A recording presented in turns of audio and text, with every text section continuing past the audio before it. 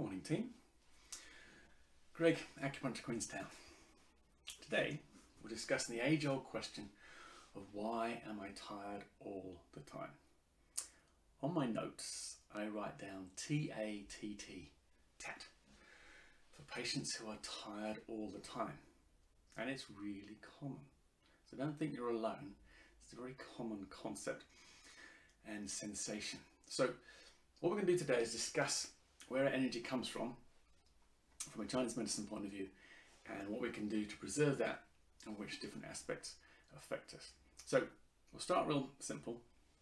There's essentially three to four aspects to what creates energy or maintains energy uh, and helps us feel tired or energized.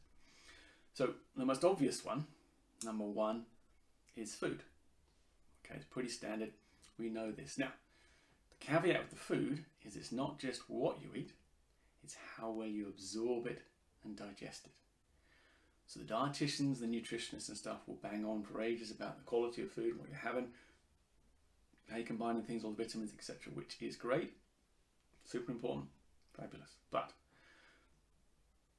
we also need to remember that if you're not digesting properly or absorbing properly, you can have very expensive poo. Okay, so we'll do that, discuss that in a different video. Next thing is important is breathing. So the two together, if we eat well and we breathe well, then the body makes enough blood, all the right nutrients in it, it gets sent to the lungs, we add the oxygen to it with the hemoglobin, that runs around the system and provides oxygen and energy and nutrients to the cells of the body. Great. So far, so good. Now the one I want to discuss today is the third one, and that is energy reserves or the underlying energy of the body. Now, in a Chinese medicine sense, they attribute this to your kidneys. It's called your kidney qi. Okay. Now, in a modern Western sense, we would talk about adrenal exhaustion. You may read quite a lot of things in the press over the last few years about adrenal exhaustion. What this means is a deep level of tiredness that no amount of eating well and sleeping seems to fix. Or it does, but it takes a long time. So the Chinese back in the day, legend has it that back in the day, Chinese medicine being three to 5,000 years old, they weren't allowed to dissect bodies. Poking around in dead people was frowned upon due to the cultural and religious practices of the day. So Western medicine did a lot of chopping around people, Chinese medicine not so much. So they observed, they observed nature and they observed people from the outside to see what was happening. And noticed there seemed to be something in the kidney region of the body that led to this underlying tiredness, the deep tiredness. They also noticed that this energy wanes as we get older. So to keep it simple, this is essentially your constitutional energy. It's your genetic energy. We say some people have a strong constitution and they seem to be pretty cast iron, nothing affects them too much. They have two hours sleep, wake up, seem to do fine. Other people 10 hours sleep, all the best food in the world, and they still seem to be tired and weak. So this comes down to the strength of your kidney qi. And the adrenal glands are two tiny glands that sit just above your kidneys. They're really quite small. So even if the Chinese did have a poke around, maybe they missed them. We'll never know. I think this is lost in time. The important point is to think of this as like a nest egg of energy from your parents.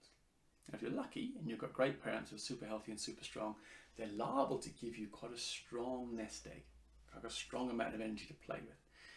If the parents aren't so healthy, or you're further down the, the birth line, you're the 10th child, for example, and your parents are up in their 50s or 40s or something, you may not get as much.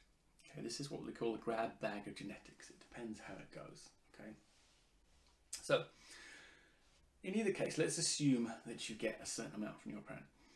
So you get a certain amount of energy from your parents. Now, when you eat well, the plan is you eat enough and you do to maintain you through the day. Give enough energy for the day, do the tasks you need to do, maybe a little left over at the end to do something else. You sleep, you recover, you eat again, and you repeat. That's a general process. The best way to think of this, I think, the best analogy is finance. So imagine that this nest egg of energy is actually money. Imagine your parents gave you, say, let's say 100 grand. let's say you get $100,000 sitting over here. This is your nest egg.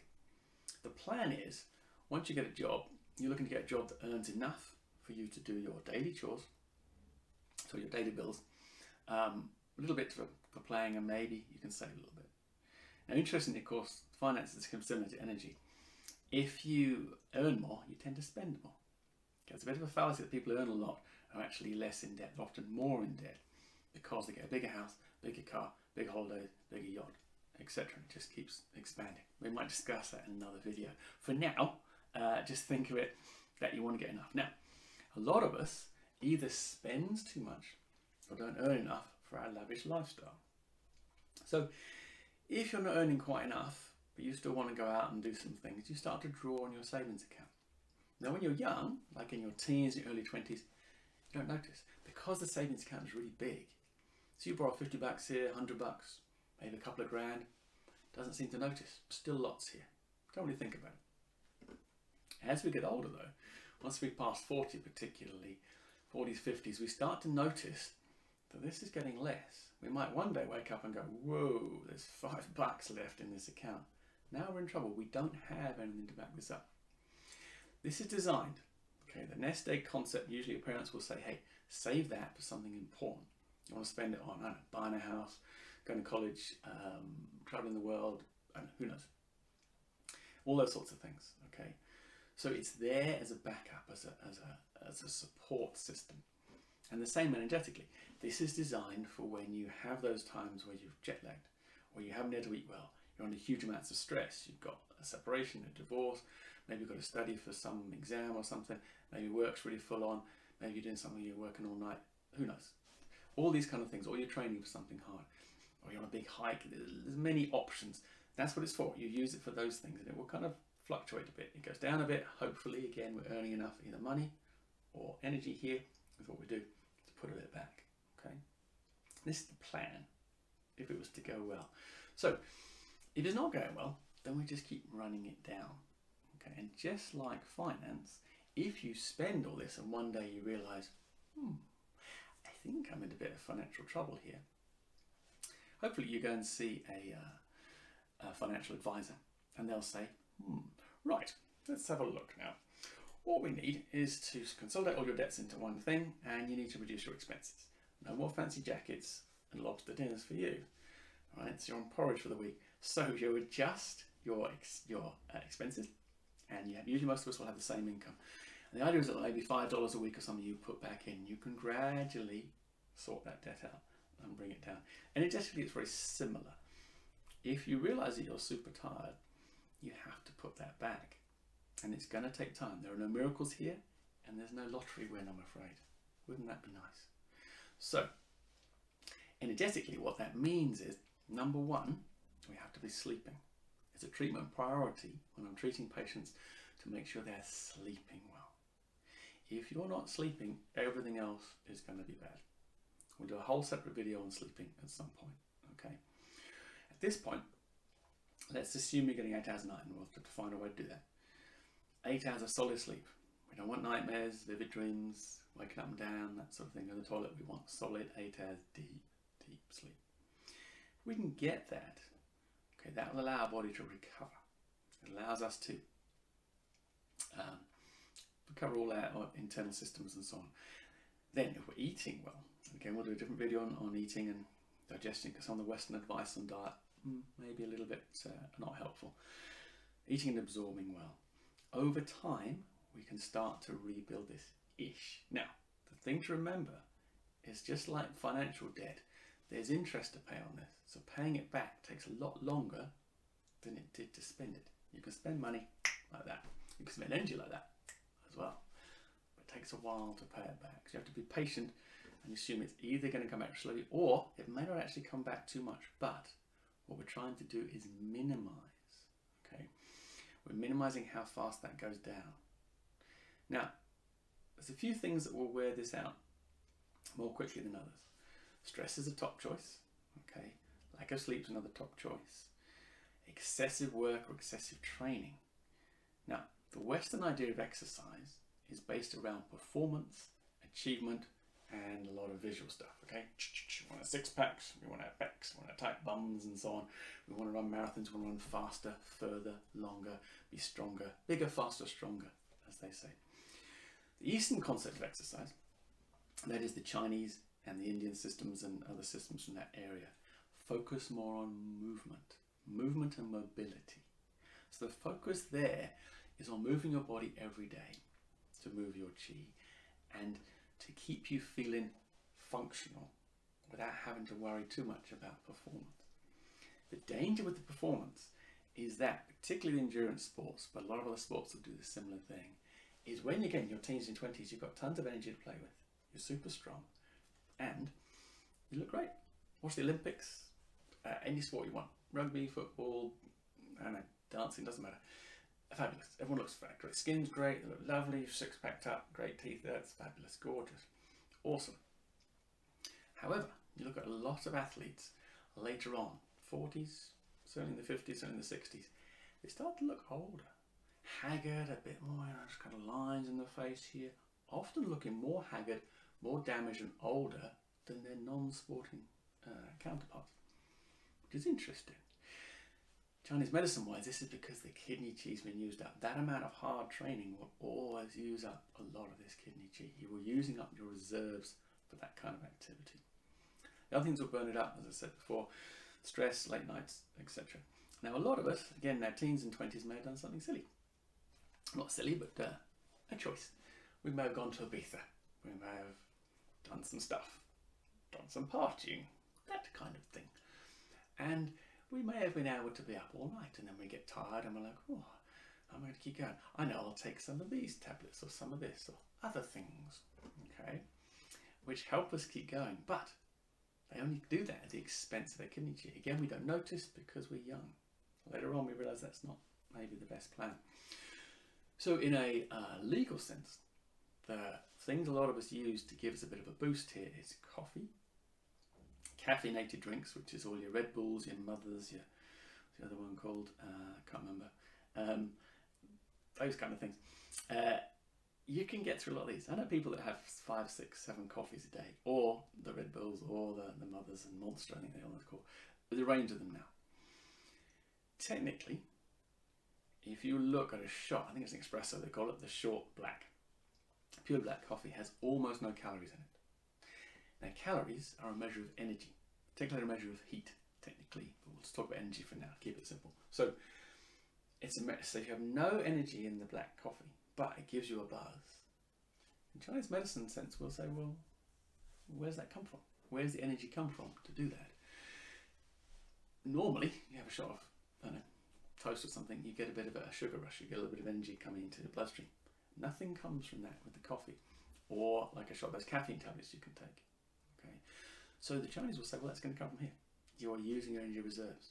Now, every now and then, that's okay. You know, sometimes this is this is what it's for. This is what savings are for. They are for emergencies and, and to help you out, not to be used all the time. Of course, there are the illegal options alluded to there with the Ibiza reference, which is your speed and your coke and your amphetamines. Okay, they're your classics. So again, as far as I know, a line of uh, those sort of drugs or tablets don't contain any calories.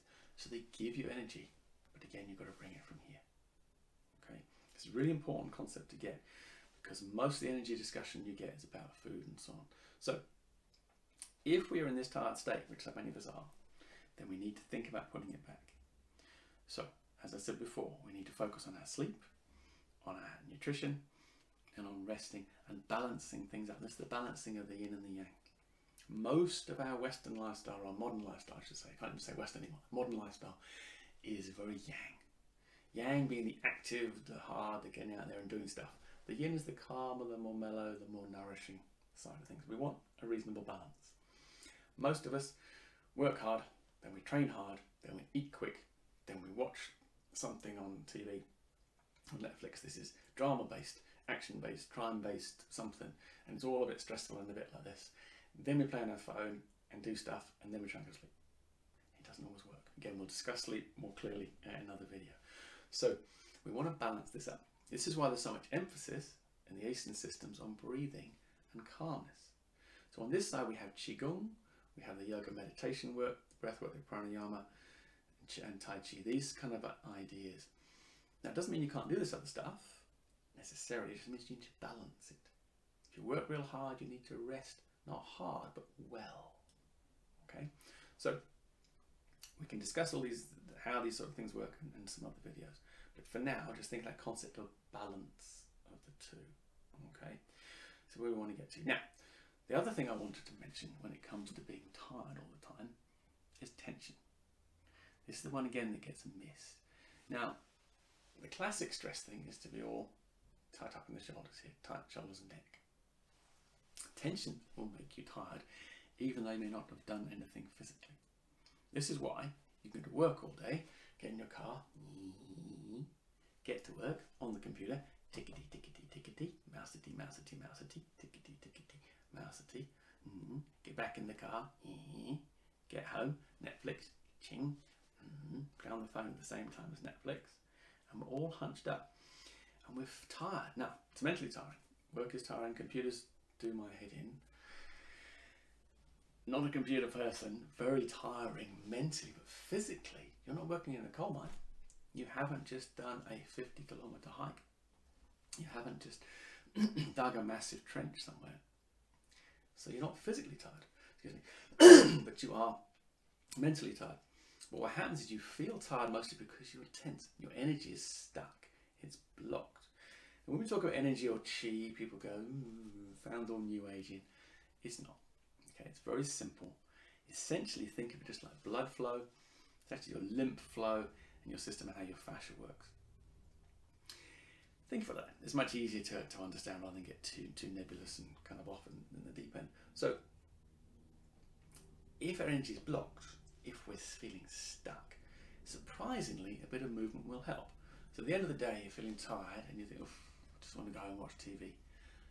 If you can pause and take yourself for just a 10 15 minute walk, a brisk walk outside in the fresh air, just move your arms, move your legs, get everything moving. Or do some yoga, some stretching. Maybe have dance. You can go to the gym if you like. Anything, whatever works for you, whatever your thing is, okay? What we should find, that just moves things a little bit. And we come back and go, oh, oh, I feel better. Hey, not bad. I feel better. Thanks very much. I'll, uh, have a cup of tea now. Because you moved your chi. Okay, you moved the blockages. So think of blockages like a river. The energy is running along the river. If we put a blockage across like a big tree or something, on one side it blocks up, there's too much water, everything gets waterlogged and, and heavy. On the other side, there's not enough, so everything dries out. Okay, once you move the blockage, things move. This is essentially the concept of acupuncture. Okay, it's actually also essentially the concept of chiropractic, osteopathy, and massage. It's about moving knots, moving blockages to allow the free flow. Okay, the Chinese talk a lot about free flow through the body. Okay, so the best thing for this, really, I would say, would be the stretching or the Tai Chi, or something where you're moving everything. Remember, if you go for a walk, it's great, but you're not really moving this stuff here. You don't realize how tight we get here. There's some simple stretches to open things up, allow things to move better. You'll be amazed how much better you feel, and it's not so tiring, the stretching. Done properly, you'll feel looser, your body will move better. Okay, so I want to keep this simple. Apparently, if I can go too long, people's attention spans are shorter now, uh, so the kids tell me. So, focus on remembering there's this, this reserve energy system that we've forgotten, or most people aren't aware of, and the tension thing. So the other ones will be reasonably straightforward. So, sleep, deep, proper, nutrition, hopefully good, digestion, hopefully good. Realizing the energy reserves need to be looked after, need to be balanced. If you do train hard, then you need to rest hard. Interesting enough, I was actually speaking to a colleague of mine in the UK, the GP in the UK, and he was saying his teacher, one of his martial art teachers, who actually was uh, Bruce Lee's top student. Don't know who Bruce Lee is?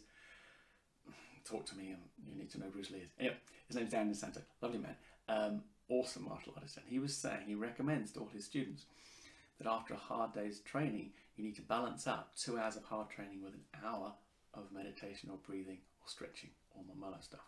Okay, at least. And the older you get, the more it has to be an equal balance, two hours to two hours. Also, that will also help with attention. Okay, so hopefully that's clear. Any questions, please put them in the comments section. I'll do my best to answer things depending on work and kids and time and how many questions and things. Any suggestions for other videos on particular topics, please put them, those in as well. And I will do my best to produce something to explain how things work. I believe Chinese medicine is fabulous. It's not as as new age as people will try and make out it is. It's a lot of deep, helpful concepts, none of which actually necessarily involve treatment. It's just knowing how the body works and what you need to do to help yourself. This is always my focus is to help you, to help yourself, so you don't really need me treatment wise. Okay, so I hope that's helpful. Uh, Greg, Acupuncture Queenstown. Hope you have a fabulous day. Thank you.